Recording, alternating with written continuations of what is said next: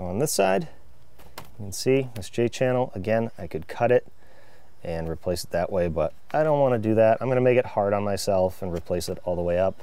You do have pieces like this that should be replaced. There's a little hole right here, uh, but we don't have a lot of siding, so I'm not going to replace those right now. This is kind of the same, but kind of different. I'm not going to take all this siding off. I'm just basically going to unsnap it up here and try and just take these out just a little bit so I can get to the nails here sneak that new J channel up there, nail it in, and then bring these back down.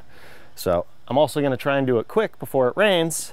So let's see if I can actually get it done. I'm gonna start at the top and work my way down. This thing might give me a little bit of trouble, but we'll see. Some of these are trickier than others. There we go.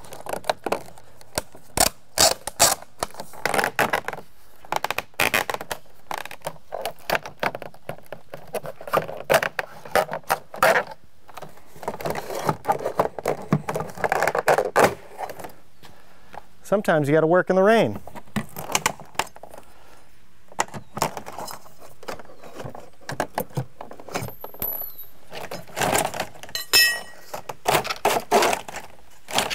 I'll line up the new one to the bottom, upside down. So I have the good side up here when I install it. And then I'll cut the top. Kind of like that.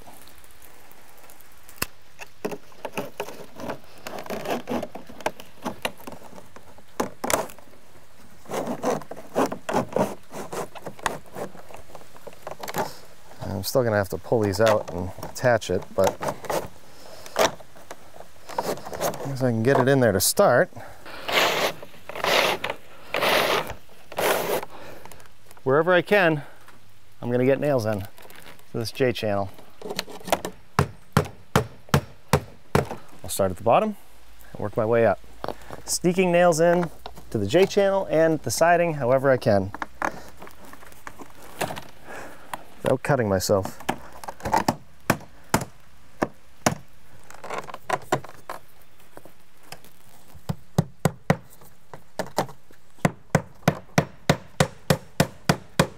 I'd love to do Tyvek in there, but it's not going to happen. Not today.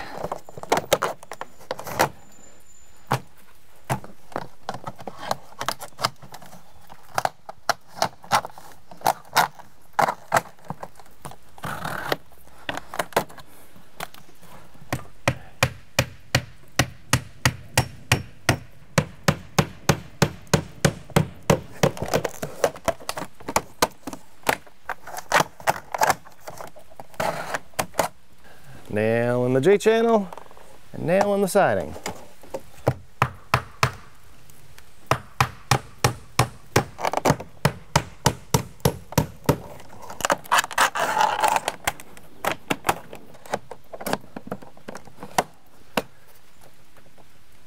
How are we gonna do this? Nope. Gonna have to take this piece out. Of course.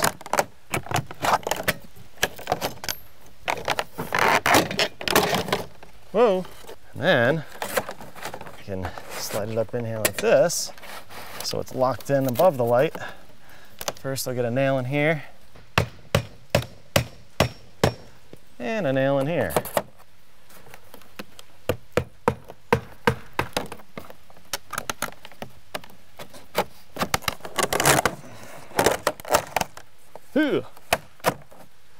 Sounds like it broke, but it didn't break.